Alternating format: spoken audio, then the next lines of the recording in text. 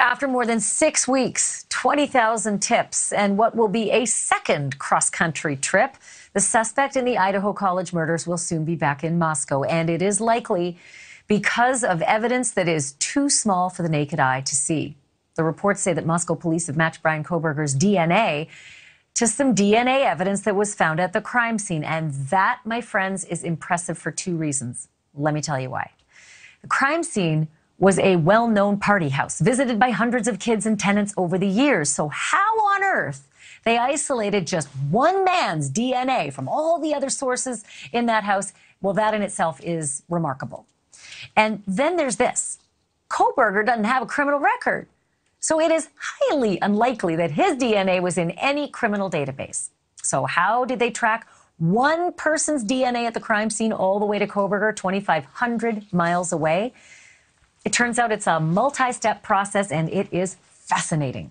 I'm joined by Joseph Scott Morgan. He is a certified death investigator and forensic analyst. He's also the Distinguished Scholar of Applied Forensics at Jacksonville State University. Okay, Joe, this is your backyard. How do they determine that one foreign source of DNA at the crime scene actually belongs to a killer, as opposed to all the other people who've come in and out of that house uh, invited and, and party guests and former tenants?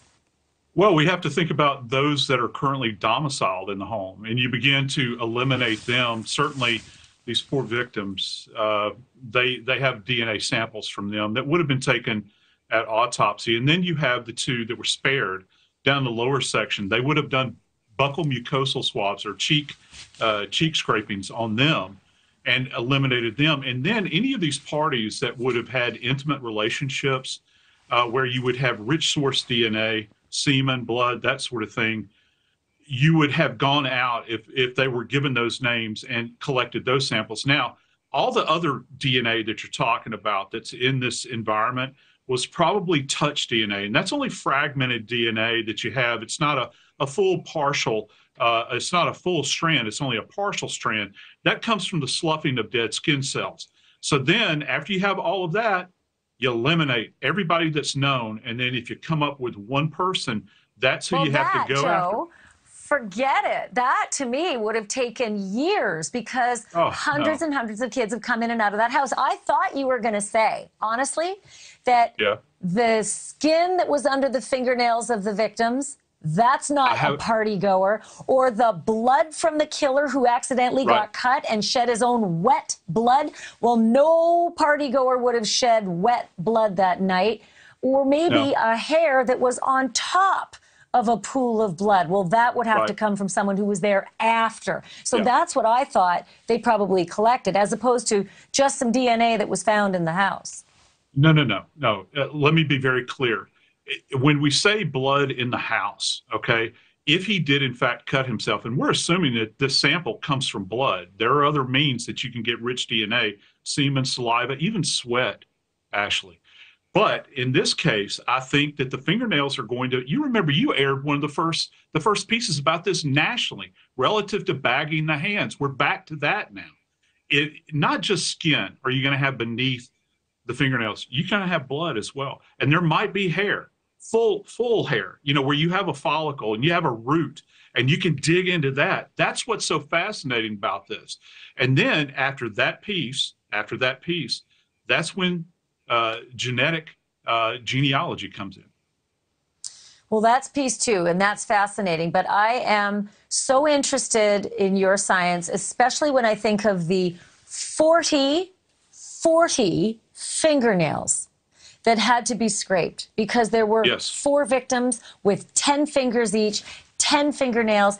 And what also is fascinating is which one of those victims might have had, might have had some fingernail scrapings because that's going to be something that the defendant is going to want to know and may not know for a long time because of course he could fashion a defense as to why his fingernail scrapings might be under a, a girl but how could he fashion a defense as to why they'd be under three or four people um, joe i have to leave it there but i'm going to have you back because this conversation is a lot longer so I always love what you have to say. Joseph Scott Morgan uh, joining us tonight. Okay, so that was step one isolating the suspect's DNA from the crime scene. Right, that's the first part. But step two is identifying who the mystery DNA belongs to.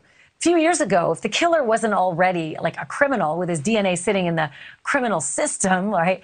Well, investigators would have a really tough time finding him, right? Like the Golden State Killer. They couldn't find that guy for decades because he was a cop. He wasn't a criminal with a bunch of DNA sitting in a criminal system somewhere. But today, companies like 23andMe and Ancestry.com, they've got all of us, like criminals and non criminals alike. We're all spitting into a tube and mailing it off to these companies voluntarily. We're sending in our DNA. So, all cops have to do these days is call up those databases and submit the killer's DNA sample. And then voila, up comes an entire family tree. And likely that killer is somewhere in that family tree. Problem is, you got to figure out which member of the family tree is the killer. And for that part of the process, I want to bring in Cece Moore. She is an investigative genealogist. She's known as the DNA detective. She's helped identify more than 200 violent criminals. So, Cece, this is tricky and it's fascinating, but you got this massive family tree, maybe 30 or 50 or 100 members of a family. Where do you start? How do you weed out which members of the family are innocent and which one is the one that matches what they found at the crime scene? Well, taking a step back, it's not quite as simple as you just laid it out because Ancestry DNA and 23andMe, which are the largest databases by far, actually bar law enforcement from using them. And so we are limited in this work to the two smallest genetic genealogy databases, which are GEDmatch and Family Tree DNA. And so we can only compare against a total of about 2 million genetic profiles. If somebody's DNA is being used for these cases, they have consented to that. In GEDmatch and Family Tree DNA, they have been notified that law enforcement is using the databases and they have opted in or not opted out in one case. So there, the, the opting part, that's the fascinating part because I know that early on in the 23andMe and Ancestry, it was kind of open season until they freaked out and thought, oh gosh, don't get our company involved in this. And then it became an option for us, the customer, to say, yeah, I'm fine. You can pop my DNA into any database or no, you may not. Don't we have that option? No, Ancestry DNA and 23andMe will not allow law enforcement to use their database, and it has never been used for investigative genetic genealogy, to my knowledge. And I'm pretty dialed in. I think I would know. I actually approached them back in 2011 and 12 and asked them if they were willing to work with crime scene DNA. They made it very clear from the very beginning they would never be involved with this. And they have deep pockets and big legal teams, and they will fight any effort of law enforcement to get into their databases. And so it's the two small companies only that give you that option to opt in. Now, if you've tested at one of the big companies like Ancestry, you can download your raw genetic data file and upload it to GEDmatch and opt into law enforcement. Okay. so tell me this. Once once they get a family tree, what's next? You got, you know, people all over the world potentially, you know, with the last name Smith. How do you determine between all the Smiths who the person is you need? Well, you don't get a family tree. What happens is you get a list, list of matches, and that's people that are sharing small amounts of DNA with that unknown suspect. If you get lucky, maybe you'll get a first cousin, and then you're in business because you only have to go back to grandparents to find that common ancestor. But most of the time, we're using second, third, fourth, fifth cousins and beyond. So we have to build trees for a dozen or two dozen, three dozen people and try to find the patterns and the commonalities, identify the common ancestors in their trees. And from that, we can reverse engineer this unknown suspect's family tree. And so there's a okay. lot of work yeah, and I was going to say a lot of gumshoe after that, right? So don't you look at like, well, cousin, you know, Ethel is only, you know, she's 90, so she didn't commit this crime, and cousin Eric is in jail, so he's got an alibi, and you know, cousin Mike is nine, so he didn't commit this. Is that literally what you do until you get a group of potential suspects who could have committed this, then you got to actually gumshoe and follow them and get their DNA to, to match against the, the source DNA. It depends how much you have to work with in that database. And part of that is luck. Have any of his closer relatives tested and uploaded there and opted in? Or if you only are working with very distant cousins, then you have a lot more you need to look at.